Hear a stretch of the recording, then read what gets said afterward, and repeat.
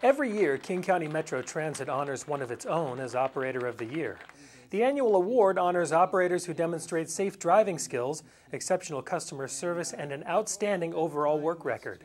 It is a peer award with the winner selected by other Metro drivers. Here's a look at part of this year's ceremony honoring 2009 Operator of the Year, Marvin White. When I took office as executive, I said that I wanted to see a new emphasis on customer service in King County. Well, here is an employee that we want other employees to emulate. From that seasonal worker in the Parks Department right up to the county executive. Somebody who's providing the highest quality service to all the people. The, the connection that you have to, to people is remarkable. And day in and day out, I don't know how many people on a year you actually serve on the bus. It's got to be um, tens and tens of thousands. But to be able to connect that way, remember people's names, make them feel that they're, they're wanted on the bus and that they're going to be safe, they're going to get from place to place, and that they're going to enjoy their experience on the bus. Hey, that's what it's all about.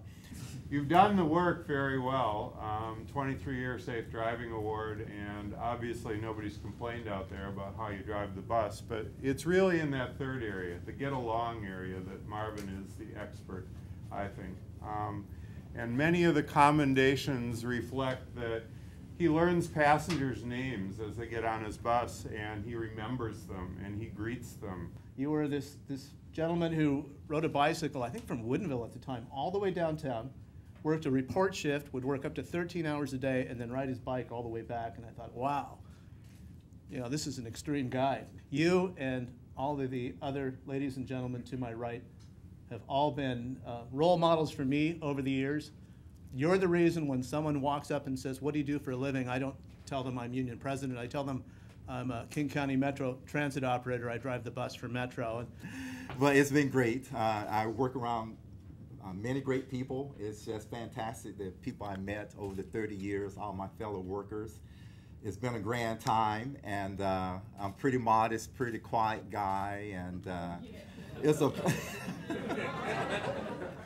it's a great, great surprise, great honor, and I wish to thank everybody that attended, and uh, and I don't know what else to say. It's just been a great time. thank you very much for showing up.